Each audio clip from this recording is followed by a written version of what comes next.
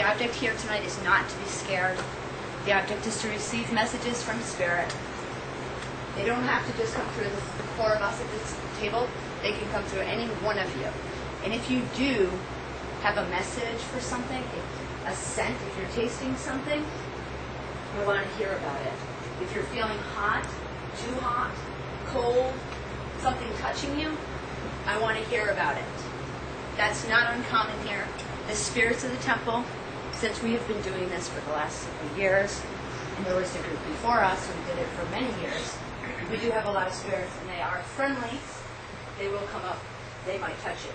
They're fond of touching the back of your legs, especially when we're sitting in sands like this. They like to touch you behind the neck too. So if you feel something like that and you don't like it and you are uncomfortable, all you have to say is, I'm uncomfortable, and we'll let you out. If you get cold, super cold, that's what happened with the last time. This side of the room is freezing, while this side of the room is on fire. We want to know about it so that we can try to control it. We are in sacred space. In a moment, I'm going to cast a circle around just once to keep our energy in, external energies that we don't want, that are harmful, that are malevolent, cannot come within the circle. Only the spirits we want can come through the circle.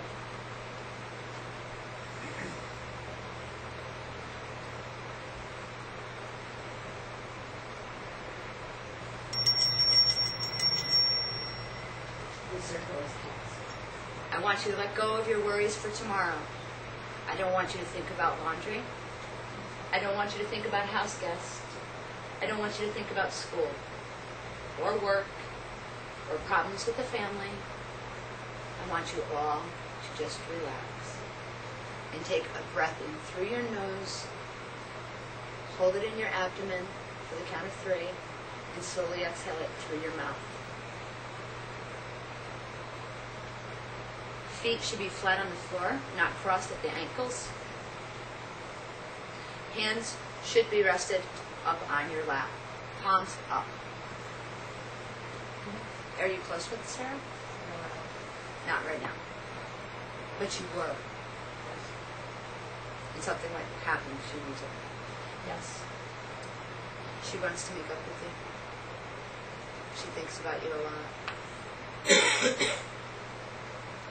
Can you mend your fences? I would try. I think that would be a good idea. I would try. There's somebody on this side of the room that knows a Morris. Yes. Yes. Is Maurice alive? Yes. Yes.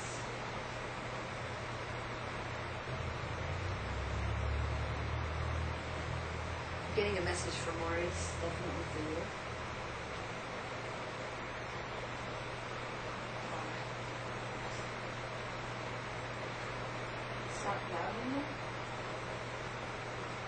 Does that make any sense? Please stop doubting him. Your grandfather loves you very much. But you knew that. Mm-hmm. You knew that. Doug wants you to know that your grandfather is very proud of you. And that he loves you very much, but you knew that. Okay, thank you. Knew a Ruth. I did. I Did she, remember. did she pass away? Yes. Ruth is with you right now. Ruth wants you to know I'm here, I'm here, I'm here. I'm here, I'm here, I'm here. Does anyone know a Constance? I'm getting a Constance. I'm writing a book whose name is Constance. There you Character? go. It's a character in a Yes. book. Mm-hmm. But you're writing, this character's pretty important in your book. Yes. Yes. Ah! Mm-hmm. Wow. Getting a message from Constance. That's Well, the news. strange because I've never even heard that name. Mm-hmm. Constance, but it's very clear. I'm Is she Constance. the main character in your book? Not a main character, but No, she's not a main character and she's pissed about it. Yeah, I can understand why she's pissed. Is she? Does that make sense? Yes, she wants to be. in She wants to be the main character. Okay, thank you. That's odd. you must be drawing her to life pretty well. Yeah, a few of them in there, I am. Yeah, Yeah. good. So she's tipped off that she's not the main character. Room who's contemplating selling their home. Well, if you are, now is not the time to sell the home. Don't sell the home right now. Say no. Don't sell the home right now. Now's not the time. Spirit or a presence in their basement.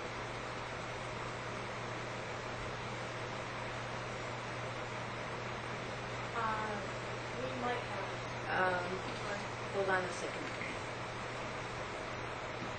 Is your basement finished, sort of, semi, half?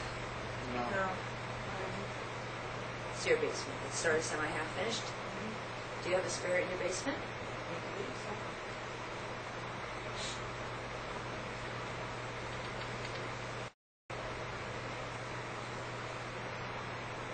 I sense that it's female. No, the spirit in the basement's not an old lady. It's a young girl. Not young, teenage. Like 16? Yeah, I had problems on the bus. Like people were just like, you know, Did anyone try to trip you?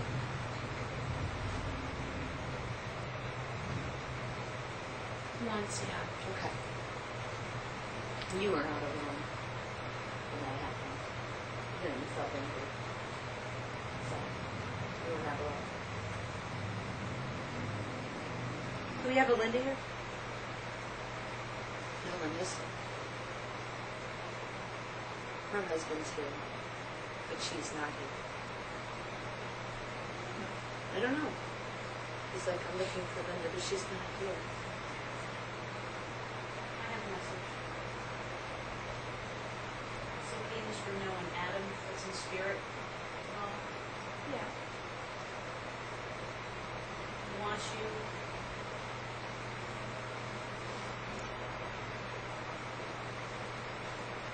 That it's time to move on. That everything is going to be all right. But you need to move on to your own happiness. That he's fine.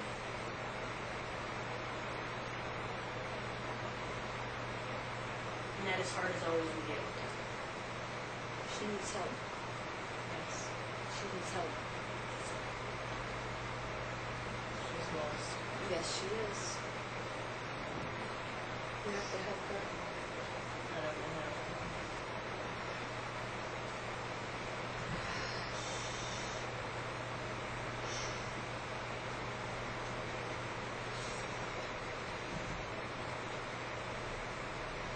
You have the power to change things for her.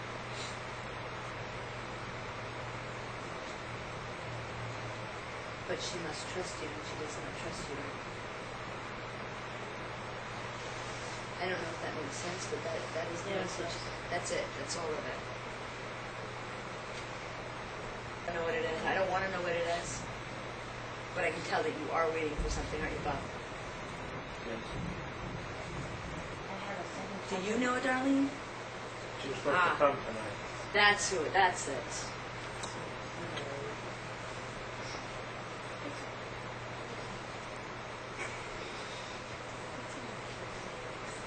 Darlene feels guilty that she can't come? That's it. That's the message? Yeah. Okay, never mind your message. It's for the Darlene that should be there, okay? There it is. Thank you. Your- Was your grandfather sort of into sports, sort of? What? Did you watch sports with him as a mm-hmm. child? Who did? Every day? That's what he misses.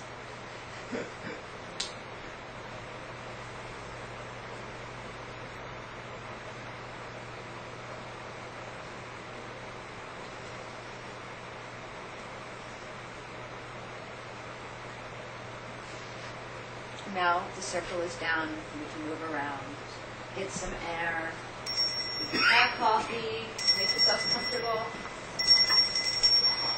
Farewell, spirits, until the next time.